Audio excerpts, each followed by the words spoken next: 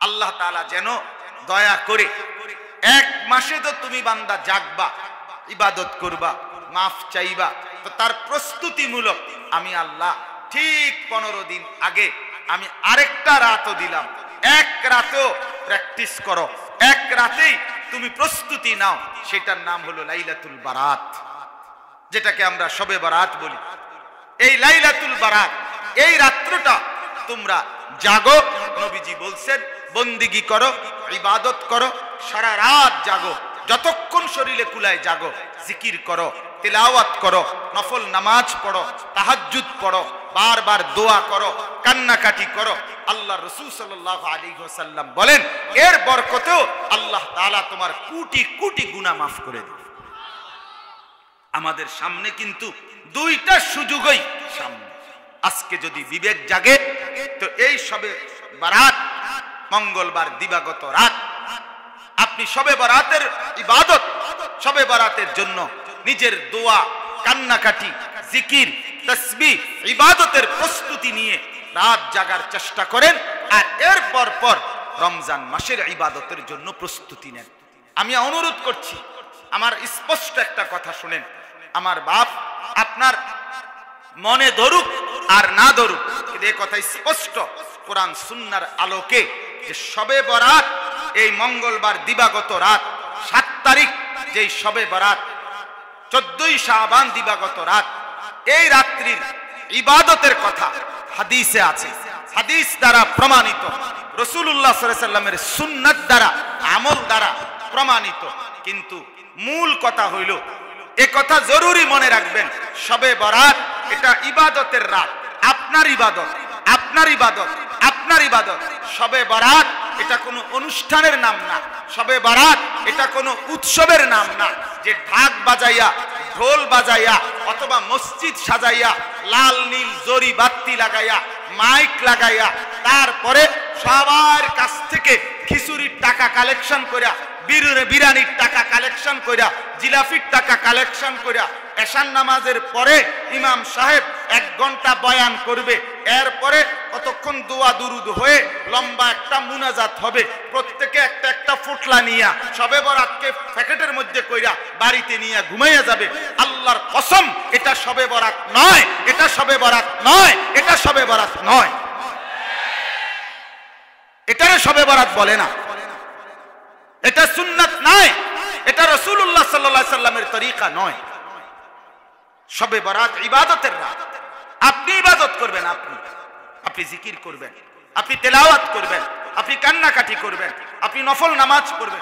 কয় রাকাত? আমনে শৈল্য কুলে যত রাখাত কয় রাকাত? সবে বরাতের নামাজ কয় রাকাত? আমনে শৈল্য কুলে যত রাখাত দুই রাকাত দুই রাকাত করে আপনি দুশো রাকাত পড়েন। আরেকজন একশো রাকাত পড়েন। আরেকজন বিশ রাকাত পড়েন। আরেকজন আশি রাকাত পড়েন। যার শরীরে যে দুর্কি আছে সামর্থ্য আছে। সামর্থ্য তাইলে সবে বারাত, এটা অনুষ্ঠান এটা কি বলেন না কথা? অনুষ্ঠান না। এটা অনুষ্ঠান এটা ইবাদতের রাত। এটা বন্দিগির রাত। সবে বারাত, অতএব সবে বারাতের সাথে বিরানির কোনো সম্পর্ক নেই। সবে বারাতের সাথে খিচুড়ির ডাকের কোনো সম্পর্ক নাই। সবে বারাতের সাথে জিলাফির কোনো কি নাই? সম্পর্ক বলবে, মানুষ খাবালে ক্ষতি কি? মানুষেরা এখন খাবার, এখন খাবাইলে ক্ষতি কি? কথা বলে না কেন? মানুষ আগামীকাল শনিবার খাবাইলে ক্ষতি কি?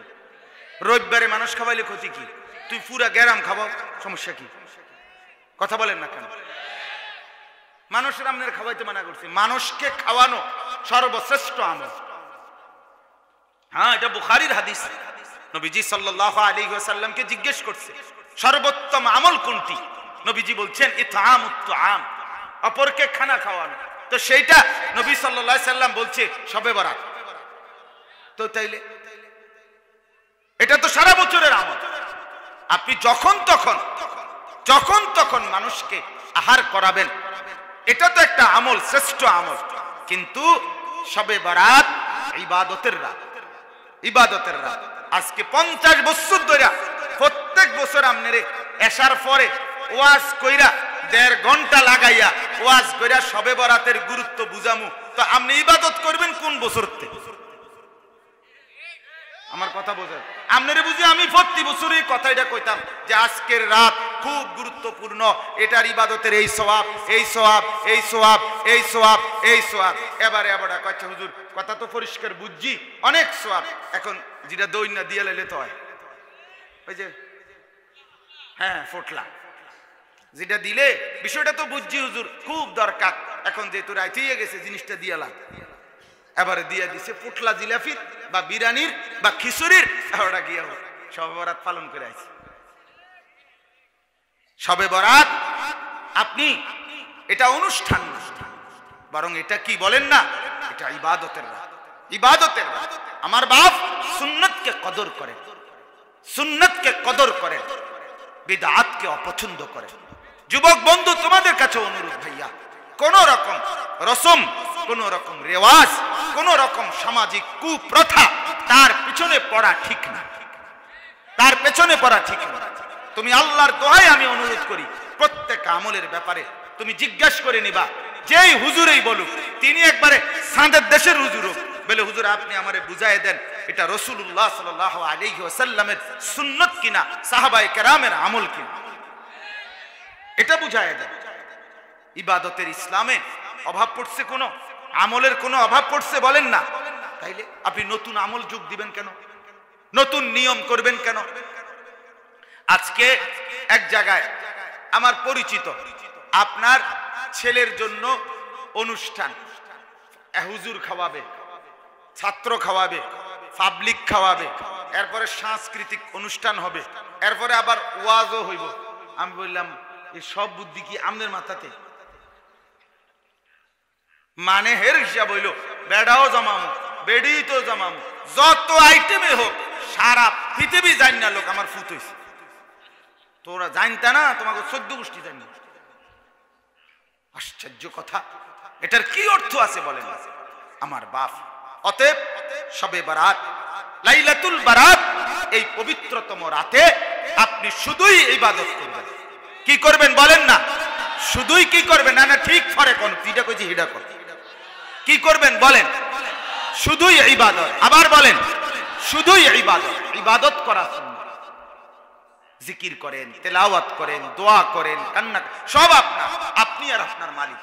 পৃথিবীবাসীর থেকে আলাদা হন, মনিবের সাথে সম্পর্ক করেন। রমজান, বুজুর্গানে দিন, রমজানও এটাই করতেন। রমজান মানে আল্লাহওয়ালা বুজুর্গ, নেককারদের আমল হইল, গোটা পৃথান করা বন্ধ করেছি, স্ত্রীর কাছে যাওয়া বন্ধ করেছি। আমি বুঝাইতে চাইছি তোমারে যে হারাম থেকে তো রমজানে বাঁচবাই একশো একশো, এমনকি হালাল কাজগুলো পর্যন্ত কমায় দাও। যেটা হালাল উপার্জন, হালাল ব্যবসা, হালাল দোকান, হালাল কামাই, হালাল সংসার, এটার ব্যস্ততাও রমজান মাসে কমাও, বরং শুধুই সমস্ত ব্যস্ততা দুনিয়াবি অল্পটুকু করে, বাকি পুরাটাটাই নিজের আখেরাতার পরকালের জন্য দিয়ে দাও।